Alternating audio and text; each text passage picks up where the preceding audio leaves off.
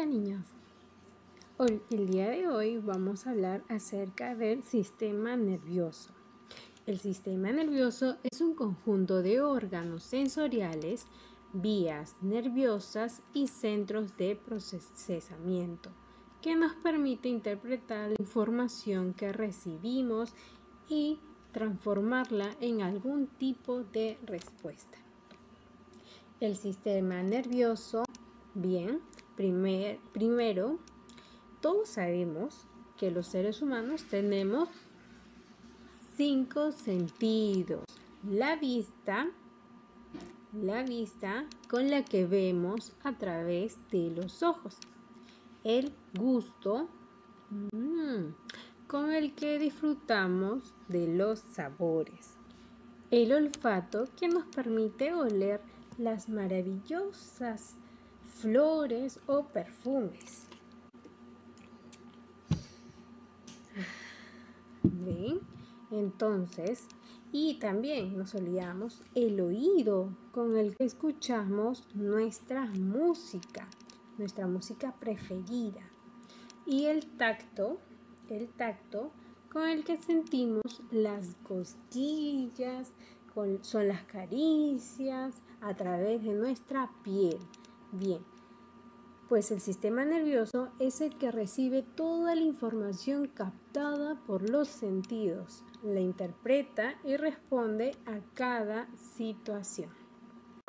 ¿Sabías que eres más inteligente de lo que piensas? El sistema nervioso se encarga de procesar todos los estímulos que recibimos para generar una reacción. Veámoslo.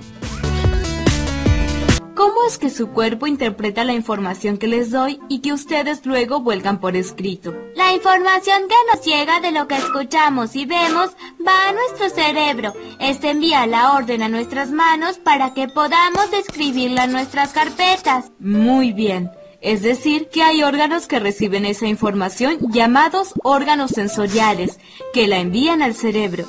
Y este la procesa para provocar un movimiento voluntario, es decir, una respuesta motora. La señal sensorial debe viajar desde el órgano sensorial hasta el cerebro y desde él va la respuesta hasta los músculos motores.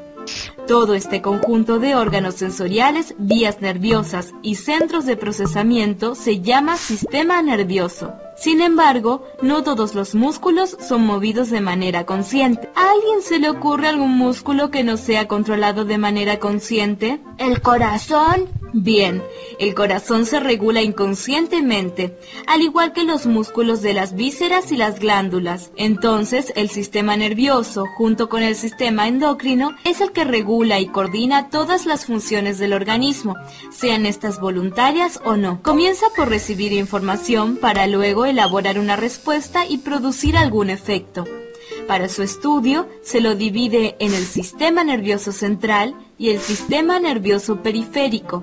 El central está compuesto por el encéfalo y la médula espinal. ¿Qué es el encéfalo? Es la masa nerviosa que se encuentra dentro del cráneo. Allí podemos encontrar al cerebro, al cerebelo y otros órganos y glándulas. El sistema nervioso periférico, en cambio, está formado por todos los nervios que entran y salen del sistema nervioso central. Si estos nervios ingresan información al sistema nervioso central, se los llama sensoriales, ya que provienen de los sentidos, pero sí llevan información desde el sistema nervioso central hacia los órganos entonces se denominan motores porque producen algún tipo de movimiento, el que a su vez puede ser voluntario, también llamado somático, o involuntario, conocido como autónomo. Mmm, qué aroma. ¿Qué estás cocinando? Pastas con salsa. Me abre el apetito. Bueno, dile a tu boca que tenga paciencia porque falta un rato todavía. Yo le digo, pero no creo que me haga caso porque la saliva es involuntaria. Depende de nervios autónomos. De acuerdo, autónomo. Pon en funcionamiento los músculos voluntarios y ayúdame a poner la mente.